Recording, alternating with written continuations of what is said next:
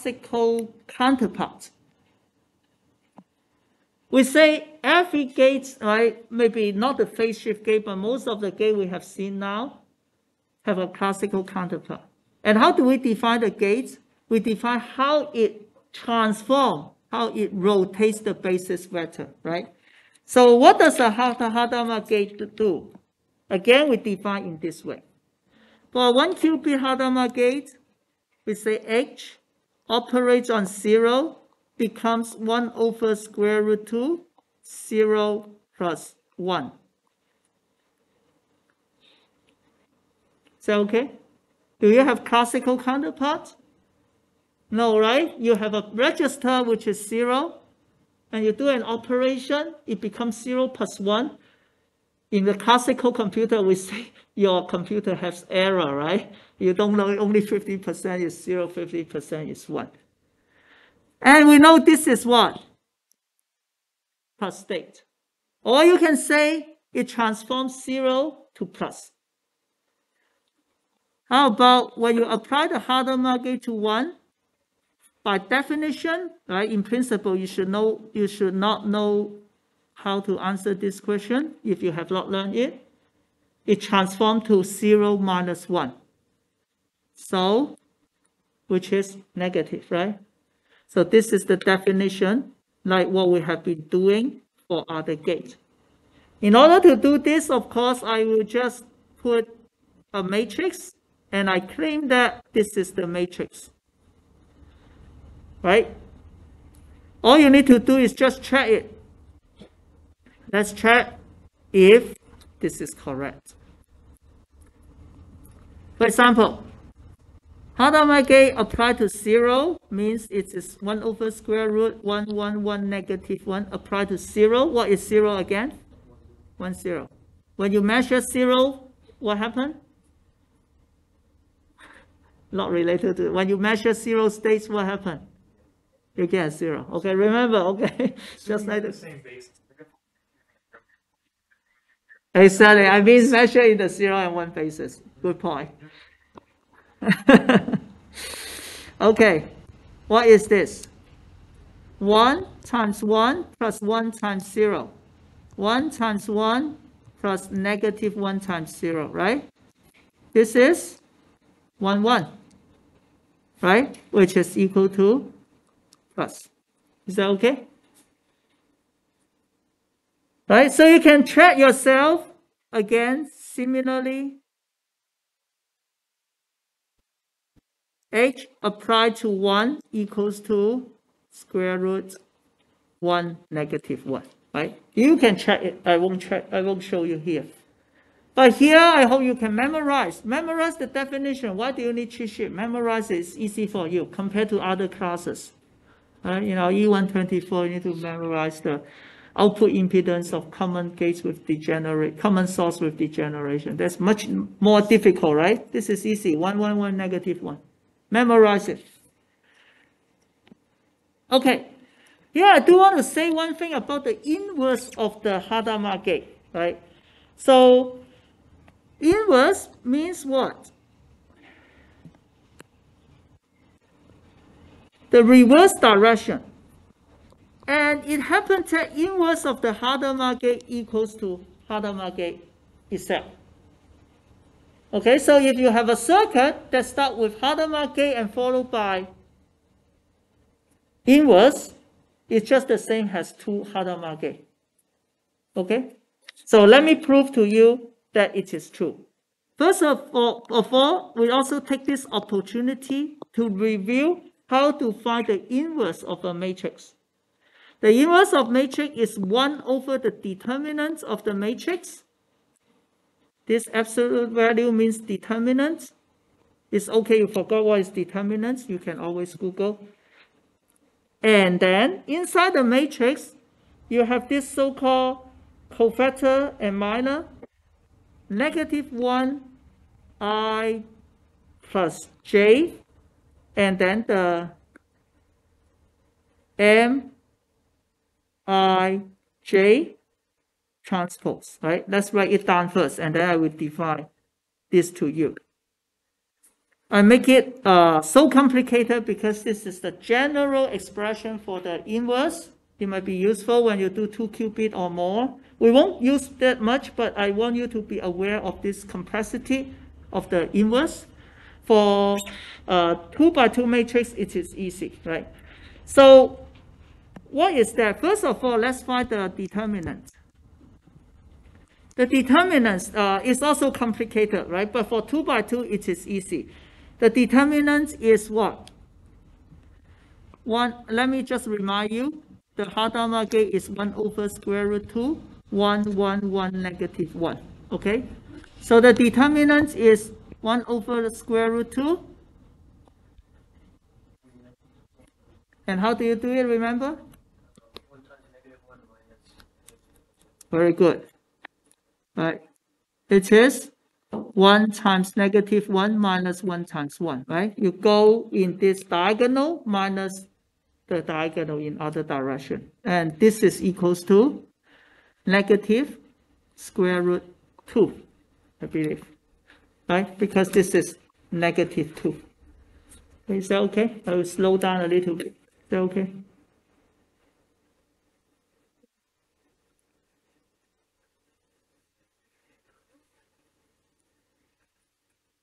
Uh, what do you think?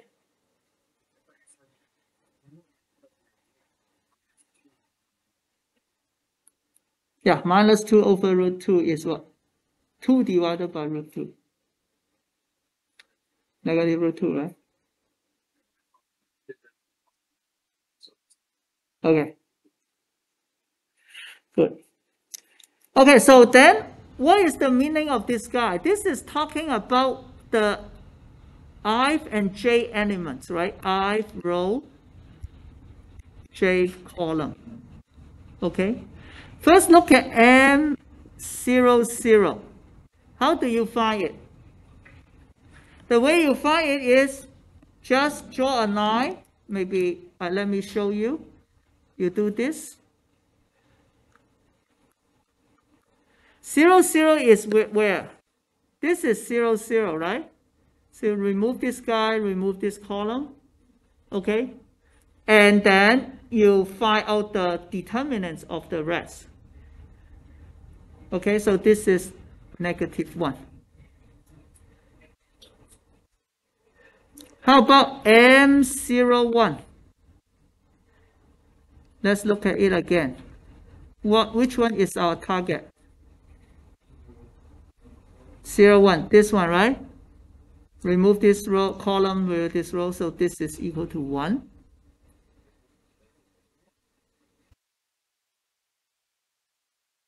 Zeroth row, yes, you're right, that becomes 1, 1, I'm sorry. I should. Yeah, thank you. So still 1, okay. Yeah. Why is the first one? Because uh, you remove this row and this column, you only have negative 1 left. M1, 0, what do you get?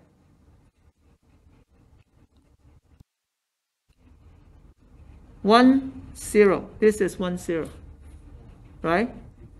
So you get one. The one is left. Okay? And eventually, M11 equals to, what is M11? That is the mistake I made just now, right? It's 1. Okay? Hmm, say again? Oh yeah, uh, again that is typo, not half. That should be square root 2. Yeah, and then I, I think I missed a lot of stuff. Hold on. Sorry.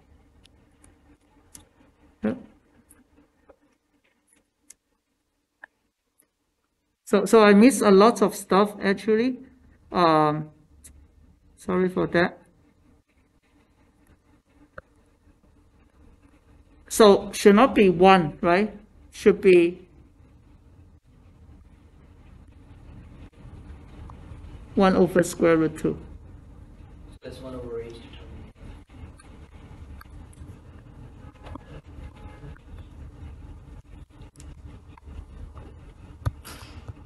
Is this okay? Because this is the, the whole matrix, right? The whole matrix 1 over square root 2. Right? You can just put 1 over square root 2 inside. Instead of 1. I missed the 1 over square root 2. The whole thing is wrong. Okay? Yeah, if I did not have this 1 over square root 2, I was right. Negative 1, 1, 1, right? But now I have 1 over square root 2. So I need to multiply by 1 over square root 2. I make the mistake. First of all, it's 1 over square root 2, not 1 over 2. So you're calculating the whole expression, Before what? the whole thing.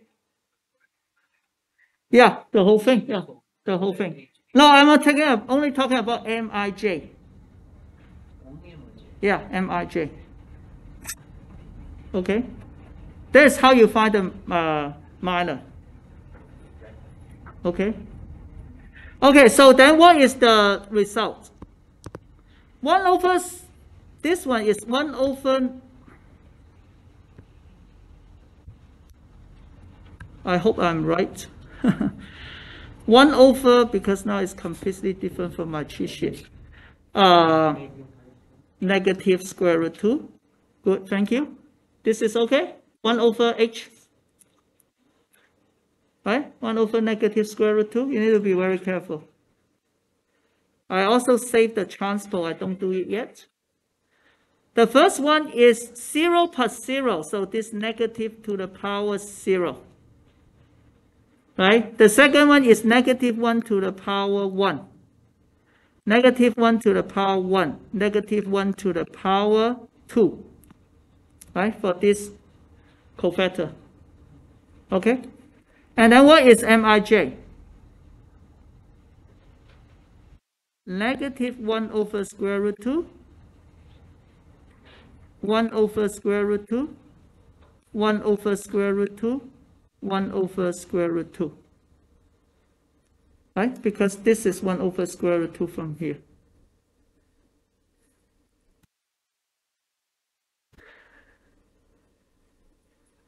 And I also don't need to do the transpose because obviously they are symmetric. So this transpose can be gone when I swap them. So I'm going to take out negative 1 over square root 2. Okay? And I think I really make a mistake here.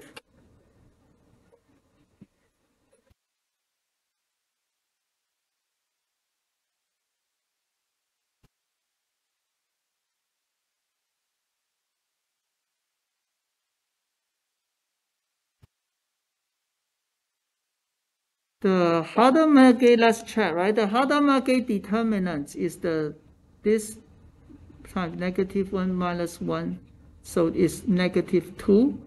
So negative square root 2. So I put negative square root 2 here.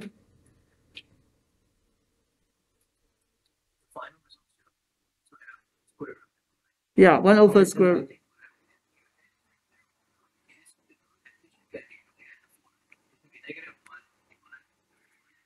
Yeah, I but think that I, I couldn't understand. yeah, but but the matrix you just think about should put the 1 over square root 2 inside. Right? Uh, just uh, factor it out. The whole matrix is 1 over square root 2.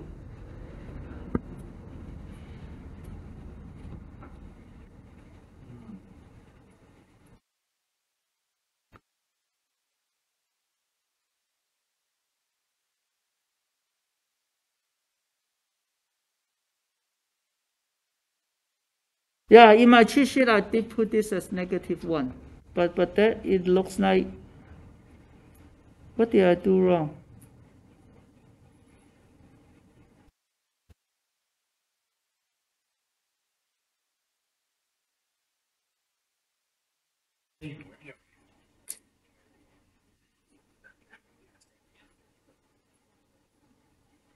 Maybe we. No transpose, you just switch, right? You still have 1 over square root 2. Supposed to look like this one. Yeah? Yeah, if I take this one over square root two, negative one out, right? Then this become two, right? This negative one over square root two, they all take out, right? And I take negative out, so this is one. This is also one, because this is negative, this one is negative, right? Then uh, it should be equal to h, but So I think it's.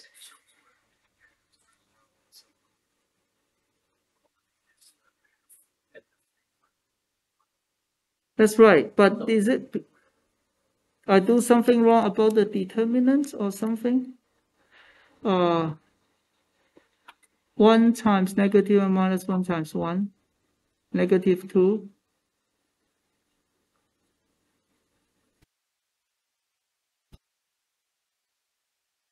Yeah.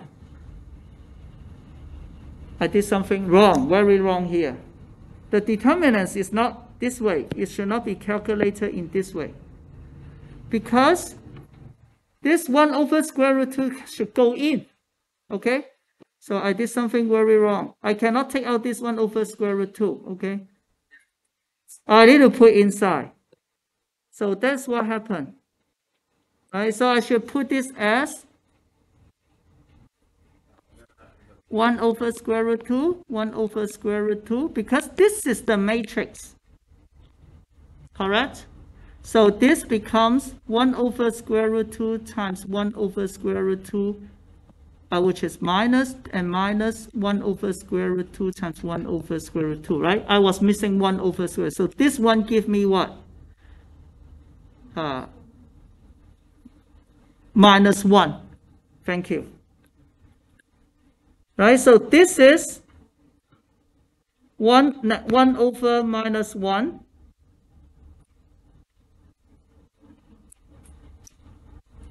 And this is, if I take out the stuff, it's 1 over square root 2. Right? So this is h, right?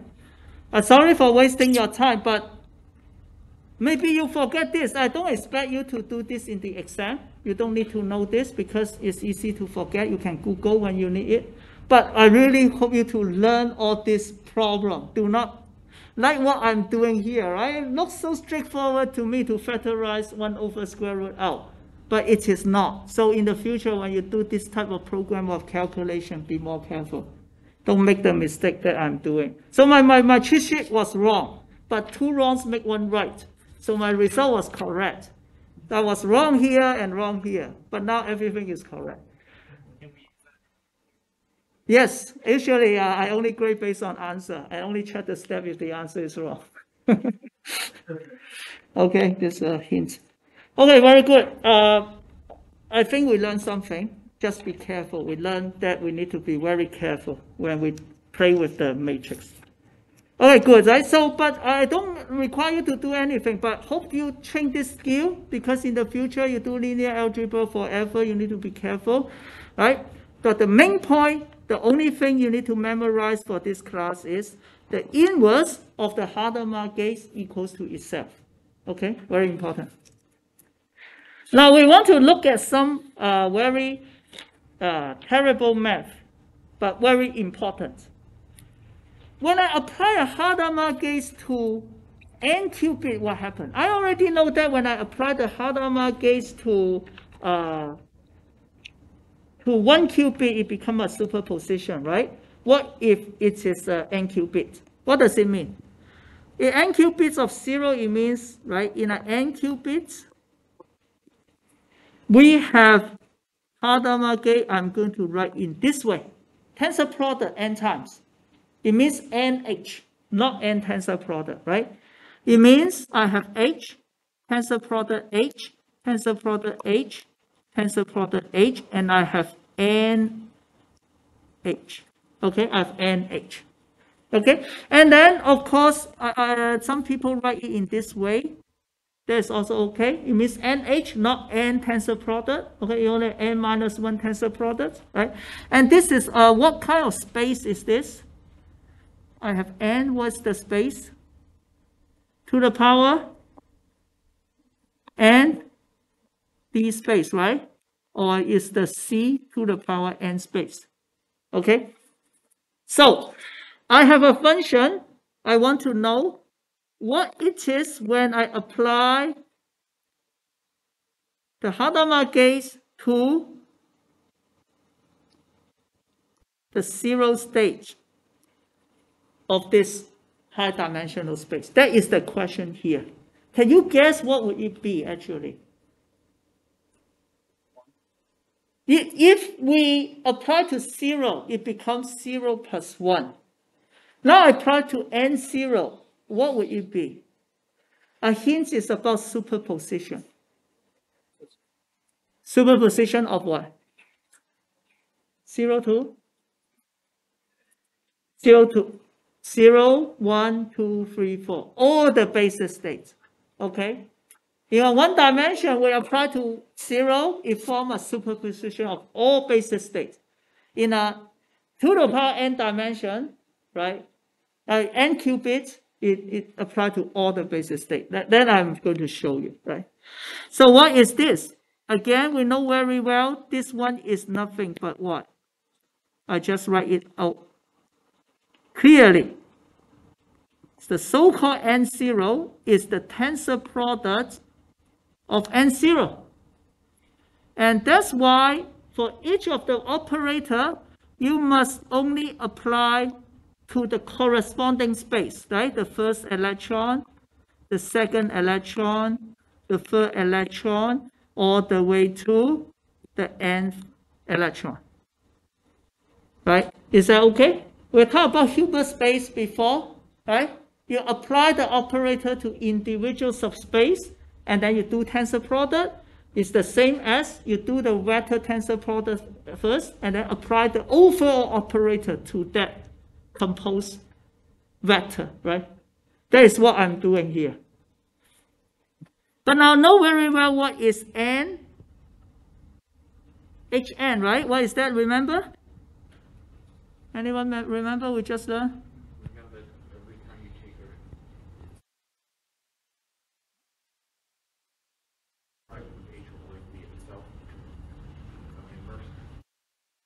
Yeah, yeah, but apply the h to zero, what will it be? Becomes a linear combination, yes. Right? This is the first qubit.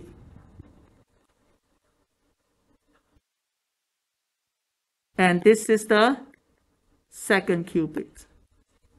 And you will do the same thing for all qubits, all the n qubits. Make sense? And then what do you do? Just do a tensor product across them. You obey the uh, uh, distribution law, right? How many 1 over square root 2 do we have? Huh? N only. So it says I can write as 1 over 2 to the power what? N over 2 because it's square root, right? So it's divided by 2. 1 over 2 to the power n over 2. Now let's look at what are the possible combination. I can have 0 times 0 times 0 all the way times 0, right? I will just write it out. Right? I also can have 0 times 0 times 0, and then the last one I times 1. And similarly, I can have 0, 0, 1, 0. And basically, you see that it's just a permutation of all of them. And the last one will be 1 times 1 times 1 times 1. Before that, it's 1 times 1 times 1 times 0.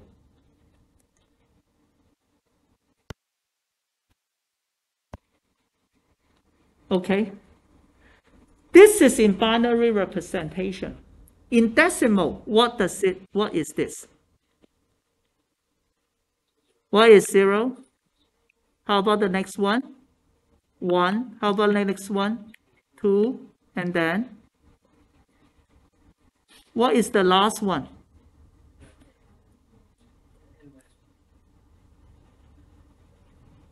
What's the last one? I have N1. What's that? Just make an example. For example, say again. 2 to the power n minus 1.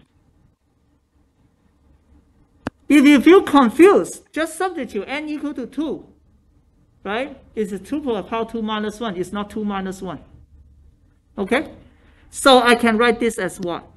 1 over 2 to the power n divided by 2 summation x equal to 0 to 2 to the power n minus 1 x.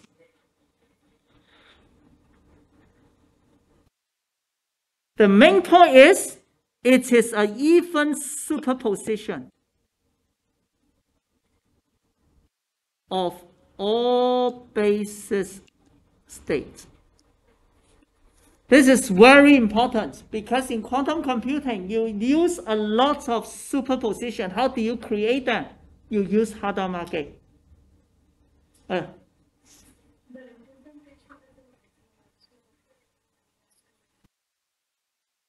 two n two to the power n minus one is the value. For example, two to the power two minus one is three, which means you have two one in binary. Yeah. Here, these are all you learn in classical computer. All these register value, right? So times up, we will stop here. Thank you.